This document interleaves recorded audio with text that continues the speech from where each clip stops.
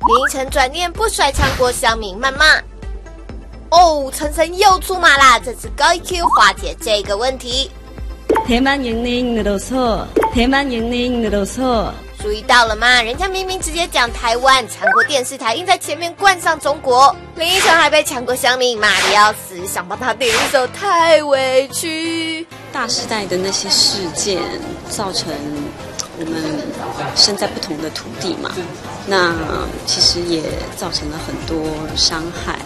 可是我觉得现在不应该是累积伤害的时候。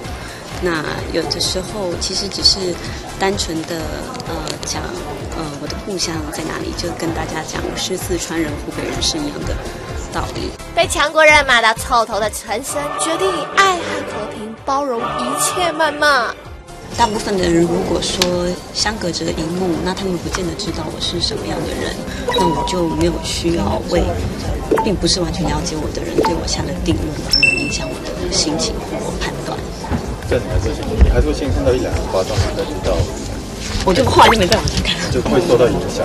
就看得懂，看到一两个。影响是还好啦，就是人比较重要是转念嘛。苹果娱乐赖陈神陈神陈神报道。